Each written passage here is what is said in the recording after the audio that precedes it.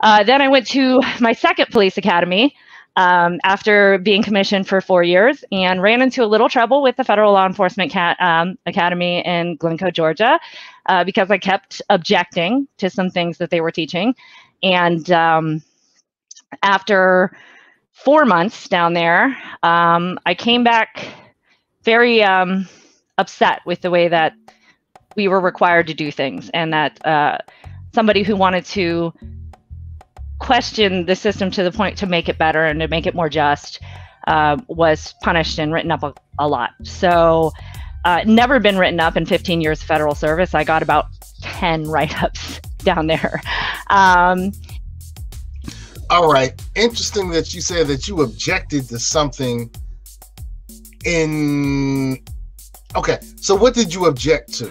So there were there were a number of things, and it, it was um, so I'll I'll give you a few examples. Um, so Glynco, Georgia is um, it's Glynco County, Georgia is actually where Ahmaud Arbery was shot. Uh, so some of the um, county sheriffs actually teach at the Federal Law Enforcement Training Center um, down there. So it's a there's a decent sized black population, but it's not a majority um, by any means.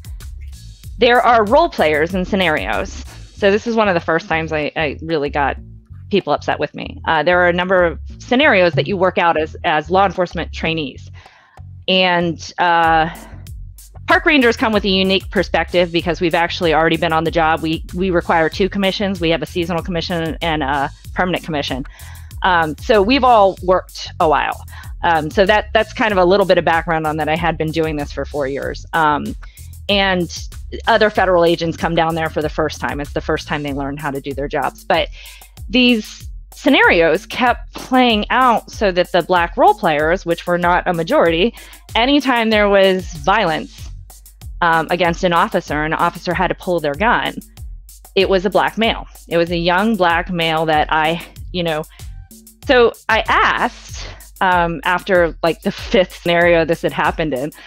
And uh, I said, you know, you don't think it might be subconsciously teaching officers to in- expect and anticipate violence when a black male is involved when every single one of these situations that we are confronted with a black male is a, uh, a use of force situation.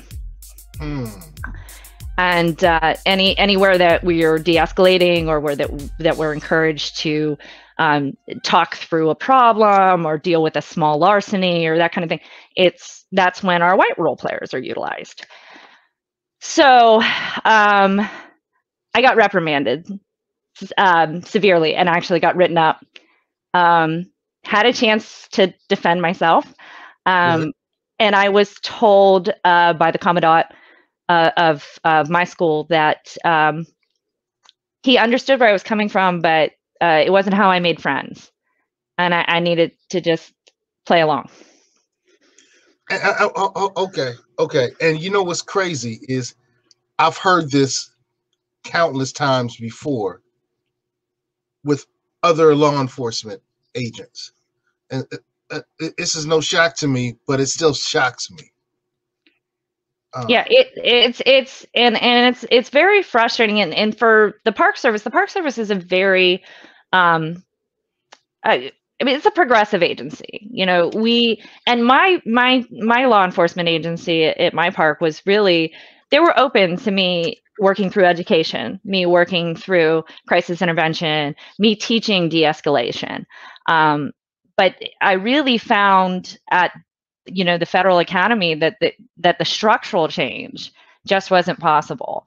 And and that consistently happened. There were a number of issues having to do uh, with race and a few having to do with sex you know where it was kind of like that's really inappropriate. You know there there are women who do this job. There's one sitting in front of you.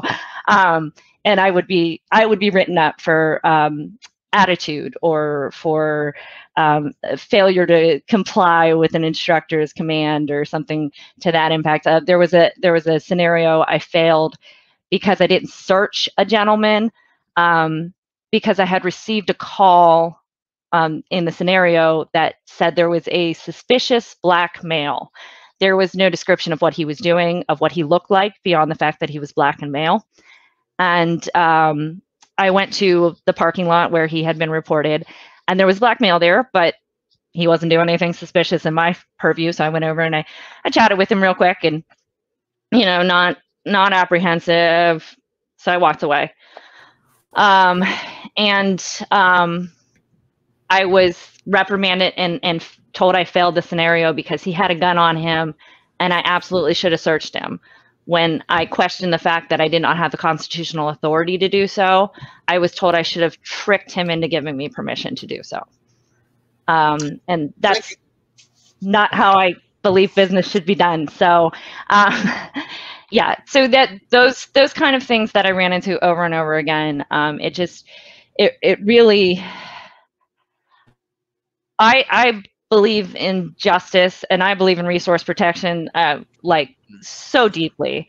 Um, and I believe in violence prevention, and uh, I believe that there is a, a very positive way to bring justice into our communities. Um, and I'm proud of the fact that I educated myself on, um, you know, not just law enforcement, but the legal history and the sociology and victimology and and how poverty impacts communities and because that's where I came from and that was important to me to understand that you know and so uh, to not be able to bring that into my career field at any impactful level um, just made it really hard for me to do my job.